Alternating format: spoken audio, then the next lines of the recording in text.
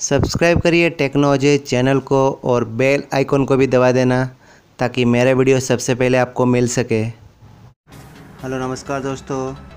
बहुत बहुत स्वागत है आपको टेक्नोलॉजी चैनल पे और आज के इस वीडियो में मैं बताऊँगा बेस्ट कैमरा फ़ोन के बारे में, जो कि पंद्रह हज़ार रुपीज़ के अंदर है। दोस्तों, ज़्यादातर लोग इंडिया में फ़ोन के कैमरा को देखते हैं। फ़ोन की कैमरा अच्छी होनी चाहिए तो दोस्तों, आज के इस वीडियो में मैं आपको बताऊँगा पंद्रह हज़ार के नीचे जो बेस्ट फाइव फ़ोन, उसके बारे में आपको बताऊँगा। तो दोस्तों, चलिए शुरू करते हैं।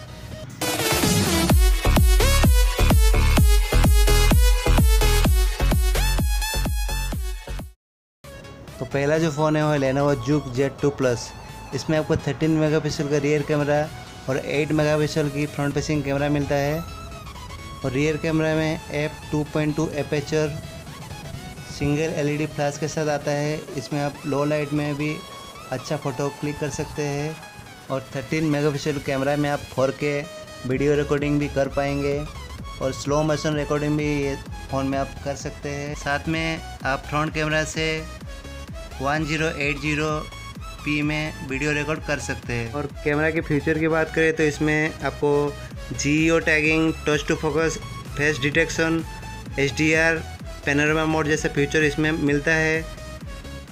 तो दोस्तों, नीचे आपको डिस्क्रिप्शन में इसका लिंक मिल जाएगा, वहाँ से आप परचेस कर सकते हैं ये फ़ोन को।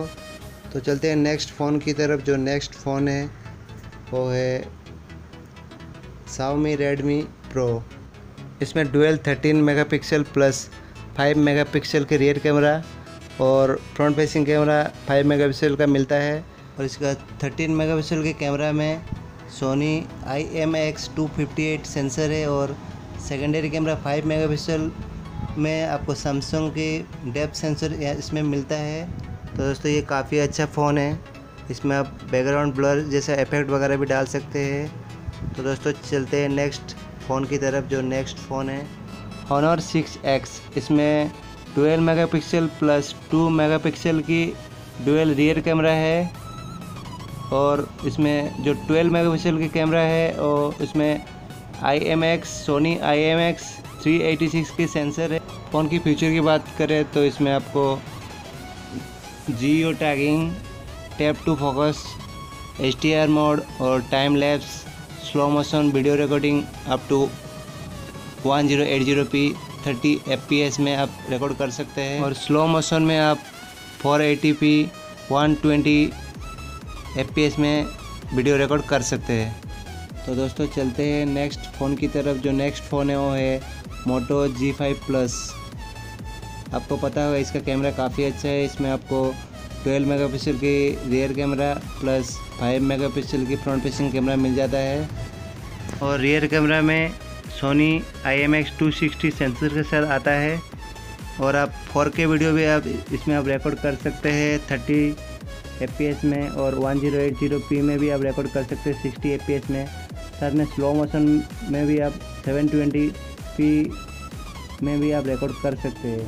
तो इसका फ्रंट फेसिंग कैमरा 5 मेगापिक्सल का है। इसमें 1080p में आप 30 एफ़ में रिकॉर्ड कर सकते हैं। स्लो मोशन में भी आप रिकॉर्ड कर सकते हैं। 480p में। तो दोस्तों, ये भी काफ़ी अच्छा फ़ोन है। इसका कैमरा काफ़ी अच्छा है। तो ये भी आप परचेस कर सकते हैं।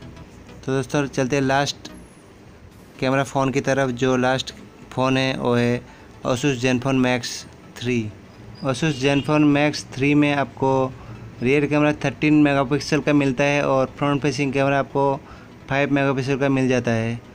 इसका कैमरा की बात करें कैमरा फीचर की बात करें तो geo tagging touch to focus face detection panorama mode जैसे फीचर इसमें आपको मिल जाता है।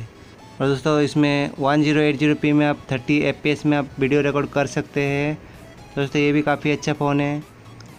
तो फ्रेंड्स ये है बेस्ट फाइव कैमरा फ़ोन्स तो उम्मीद करता हूँ आपको ये वीडियो पसंद आया होगा। अगर पसंद आए तो वीडियो को लाइक करिए शेयर करिए। और किसी भी तरह का सवाल या सुझाव नीचे कमेंट बॉक्स पे कमेंट करिए। और दोस्तों, नीचे आपको रेड कलर की सब्सक्राइब बटन मिल जाएगा। वहाँ पर क्लिक करके ये चैनल को ज़रूर सब्सक्राइब कर लीजिए। तो दोस्तों, मेरा नाम है अजय, मैं मिलता हूँ कुछ नया और एक्साइटिंग वीडियो के साथ।